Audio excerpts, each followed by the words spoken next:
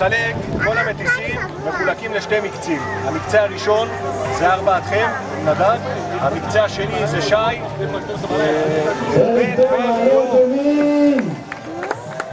איזה כיף שבאתם! האמת שזה האירוע הכי גדול שעשינו אי פעם.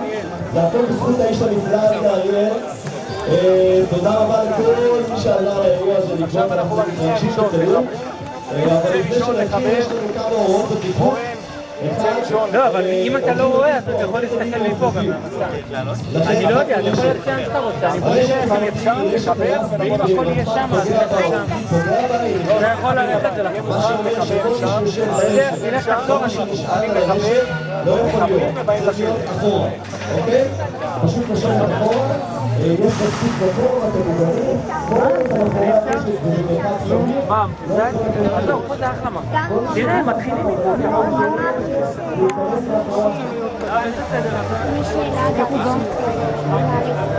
אה.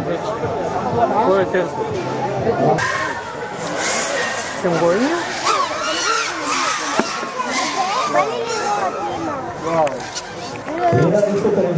והשני, מה זה הרבה? כן, תראו. יש לנו מצב שנקרא מצב צר. טיפונת?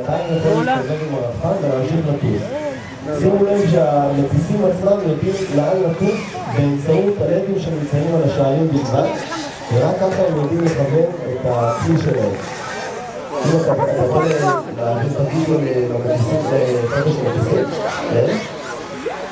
אז כמו שאתם רואים כאן, את החברים, הם מסתכלים על המסך הגדול. הם למעשה, רובם מנותרים כלפי הרצפה, הם לא רואים מה קורה, וכל מה שהם עושים זה מזיזים את האצבעות. כל הילדים שיש כאן, תקשיבו לי, טיפ קטן שהרמב"ם גרוש היה אומר לי כשהייתי צעיר. תיכנסו לזה ככל שאתם צעירים. ככה היכולת שלכם הקוגניטיבית תהיה טובה, היכולת שלכם באנגלית תהיה טובה, היכולת המוטורית שלכם תהיה טובה, ואתם כמובן תהיו תעשו הרבה יותר טובים ממני. מה שאתם רואים בווידאו עכשיו, בזמן אמת, זה אחד המטיסים, מיכאל, להם? אורן? אורן מיכאלי, סליחה, אחד המטיסים הטובים שלנו בליגה, יצא בתחרות האחרונה במקום שני. שימו לב לדיוק שלו, שימו לב למהירות. עד היום אף אחד לא הצליחה להפעיל את התוצאה הזאת.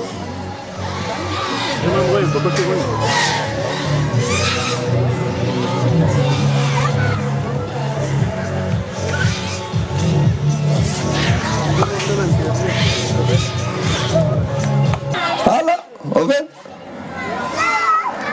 אז שימו לב, יש לו LEDים על הפרופלרים עצמם.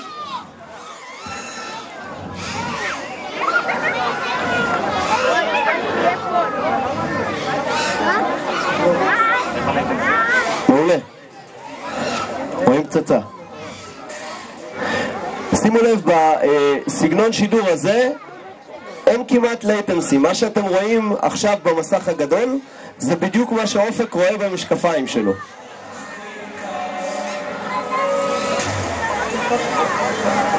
לא רואים, איי איי איי! זוכרים את מצב הצו? הנה.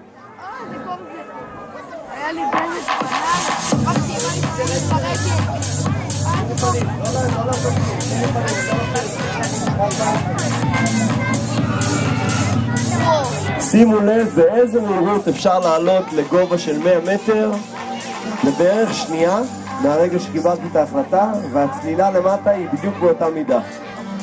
כשהיינו